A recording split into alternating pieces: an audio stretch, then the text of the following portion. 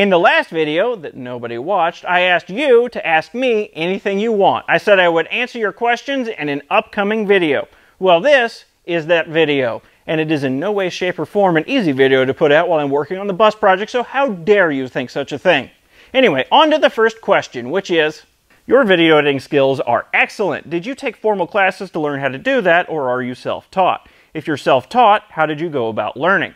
Well, first of all, Thank you. And yes, I am self-taught. I just downloaded an admittedly pirated copy of Final Cut Pro 10 years ago when I was in college and started playing around with it and making things. It wasn't really anything impressive that I started making, but I just made things. And that's how I learned how to use the software. But my skills of putting a story together, if you could even call them skills, is really just adapted mimicry from my years of experience of watching other videos and copying little bits here and there. Also, I just enjoy playing around with the editing, so that helps too. So, when are you going to get that gaping pit of death filled? When I have some extra money and don't have another car to buy. Actually, when I say it like that, probably never. How do you make the split screen look so good? It's like there's actually two of you. Ha! A magician never reveals his secrets. Good thing it's not magic. I'm just overlaying one clip on top of another using a simple graduated mask so the clips sort of blend together and don't leave any sort of split screen line. Oh. Oh yeah, well if it's not magic, how can I pass you this grinder? Oh, I guess you're right. Sorry. Yeah. Really though, it is just a simple editing trick. The actual hard part is getting the timing and the dialogue right because I'm standing here having a conversation with nothing.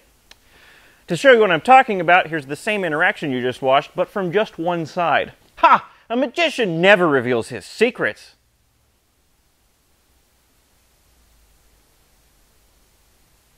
Oh. Oh yeah, well if it's not magic, how can I pass you this grinder?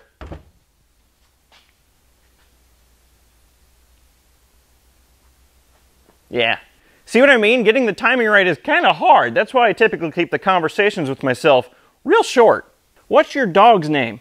I'll just go ahead and answer all these pet and family questions in one go. This is Micah. She's a good girl. And this is Holly. She's also a good girl. And you know what they both like? Squirrels. This is Buck. He's a good boy, and he's real big. This is Barney. He's kind of an idiot. This is my girlfriend. She doesn't want her face shown on video. and this is her son. He's four. We don't want his face on camera either. Is rebuilding a car from auction really worth it? What? How would I know the answer to that? I've never done such a thing. Do you have the right channel? Car meet? I got a surprising number of you asking this question. Maybe in the future. Truthfully, I'm kind of afraid to. Talking to new people is scary. Can you fill the pit with 100,000 of something to celebrate your 100,000 subscribers? Hey, that's a pretty good idea. I'm going to fill the pit with 100,000 Orbeez. Oh. I guess 100,000 Orbeez really isn't all that much. Too bad I didn't have the money to fill my pit with 100,000 tennis balls. That would have been something interesting. Why is the Jim's Throne sign not hanging over the toilet? It was. That's where I found it when I moved into this shop. But since there's no longer water service out to this building, I took down the bathroom and relocated the sign to here.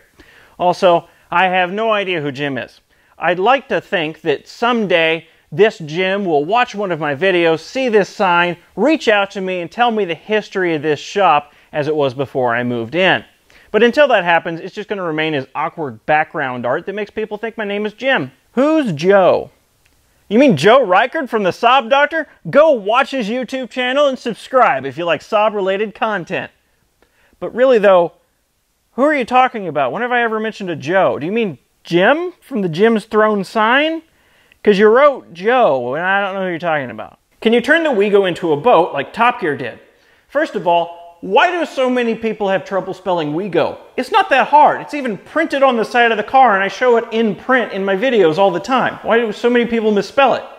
Also, I'm sure you were just being silly with that comment, but uh, that's a real thing I want to do. I've wanted to make an amphibious car project for quite some time. Not with the WeGo, of course, with something else, like a, an F-150 or a Volvo 240, something, I don't know, I haven't decided yet. And I don't mean just stuff a car with foam and make it float once or twice. I mean turn a car into a legitimate, reusable, licensed watercraft that I can drive on the road as well. It's quite an undertaking of a project, but I really do want to tackle that someday. What's your favorite tool to use? Final Cut Pro 10, my video editing software. I know that's probably not the answer you're looking for, but editing is my favorite part of the process, and Final Cut Pro 10 is the tool I use to do that. If you're looking for a physical tool, I guess I quite enjoy my table saw. It's very versatile. I use it all the time. What's your dream car? A Caterham. That's an easy one to answer. What happened to the Destruction Durango? Be patient. It's still going to happen. I still have the Durango. It's still waiting on death row for cars. I want to make this video a big production, which means lots of writing, which means lots of procrastination. Have you considered converting an old car to an EV? Oh yeah, all the time. My most recent idea that was admittedly inspired by Rich Rebuilds is to take a salvaged Zero electric motorcycle and put the guts of that into a Trabant, and to electrify a Trabant. I think that sounds like a fun and mostly straightforward project. And it would have more than enough power for a Trabant, that's for sure. If you would set fire to one of your cars, how long would the WeGo burn? I'm not going to burn the WeGo when it inevitably dies. I'm going to take the motor out and turn it into the world's fastest garage door opener. What are your future plans for the channel slash yourself? Are you still working a real job? I'll try to answer this question as quickly as possible because I could easily spend 20 minutes or more talking on this subject. As many of you know, back in February, I left my full-time job as a software engineer, more specifically an Android developer, to pursue YouTube full-time. And that is still what I'm doing. I don't know how much longer it'll last because YouTube income is all kinds of variable, but that is still what I'm doing. But to answer the question about my future plans, that all depends on money. I'd like to add new cars to my fleet, start new projects, and basically continue what I've been doing, but with new things.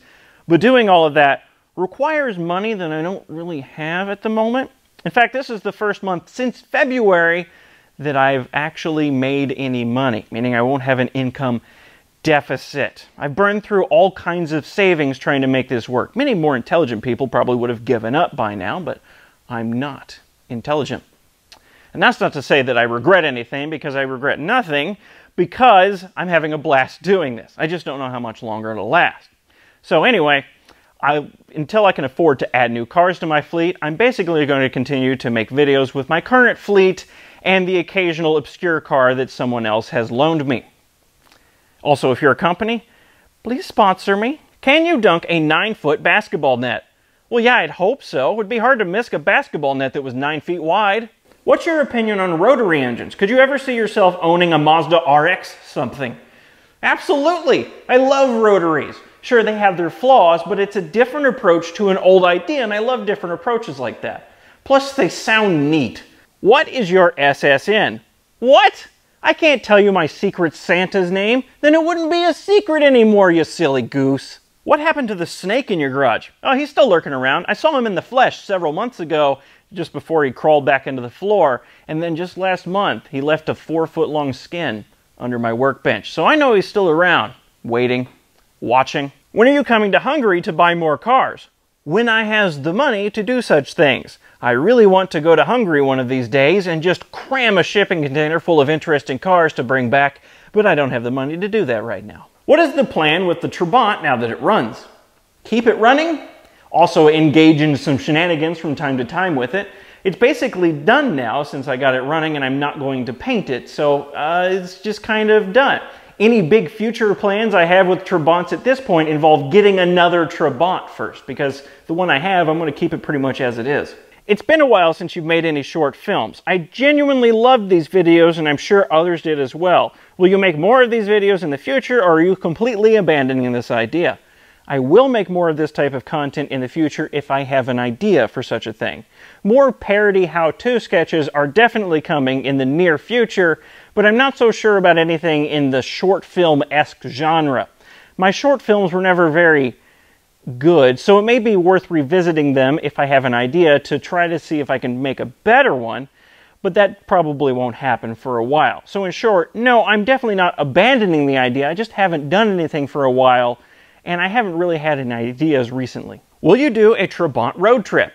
Do you know I love this idea? I really do want to take a silly road trip like this, but the main problem is filming it. Making the road trip itself is one thing, but filming and documenting the whole thing is a whole different shebang. I'd have to do a lot of planning if I wanted to get a decent video out of the experience. So it probably will happen, I just don't know when. What cars are you considering buying in the future? As you might imagine, this is not a short list. So instead of standing here listing cars that I want to buy until your ears bleed, here's a random sampling of some of the cars I've considered buying in the past couple of years, and this is by no means an exhaustive list.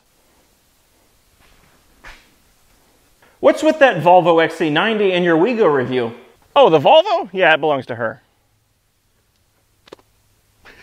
Have you ever done stand-up or do you have the intention to do so? I have not. Would I like to? Oh yeah. Am I too afraid to? Oh yeah. I would like to try stand-up in the future, but audiences are scary. In reality, it's not too much different from what I'm already doing. I already write a script and plan out my jokes ahead of time for each one of my videos. I would just have to do the same thing on stage in front of real scary people and not mess up my lines like I do constantly. I mean, it's taken me about 10 takes just to get this little bit right. You heard me right, 10 takes for this little bit. Are we likely to see another engine rebuild video? If a car I get needs an engine rebuild and I'm willing to tackle it, then yeah, I like showing the insides of an engine to the world, as well as filming the whole thing and documenting the whole process. It was a fun experience, and I'd like to repeat that again. If I can get another car that needs engine work that I'm willing to tackle. What's the car you'd most like to own and work on but don't because it'd be too unreliable or expensive to fix? This is an easy question to answer. It's an Alfa Romeo Milano, or 75 as it was called outside of the United States. Most people don't understand my desire to have a Milano, but I desperately want one. I'm just afraid to have one because it would probably constantly break down. Also, I read a story on Jalopnik one time of one guy's Milano catching fire and burning down and taking his entire car collection with it. And that scares me a little bit. I know I say that as I'm standing next to this, but I'm afraid to own a Milano. How old are you? I'm 26. And that's an awfully rude question to ask a lady. Can we maybe get a stylized Trabant shirt? Let me ask my designer real quick. Can we have a stylized Trabant shirt? All right, I guess it's coming soon. Are you an iPhone or Android guy? I kind of hate this question because it's just rooted in tribalism, but yes, I'm more of an Android guy. I'm reading this off of my Pixel 3. Also, my last job, and basically every other job I've had, was as an Android developer. Is the Saab still a thing? Nope. I sold my Saab 96 back in February. I'd like to replace it with a two-stroke Saab, but that hasn't happened yet. Will the Smart ever be sold? No, no one will buy it. So I'm actually in the process right now of licensing it so that I can actually use it. That video should be coming soon-ish. Can we get more info on the current aging wheels fleet? Sure, go watch the video I made back in January called The State of the Fleet Address. Not much has changed since then, except I sold the Saab 96, I bought a bus, the Trabant has an engine in it, and oh yeah, and I have that Dodge Durango that I'm going to blow up. Really, my whole fleet is in surprisingly good shape, but I guess that's what happens when you focus on your existing projects instead of buying new ones. Things just kind of end up working. And that's the end of the list of questions. Thanks again for watching. I'll see you next time.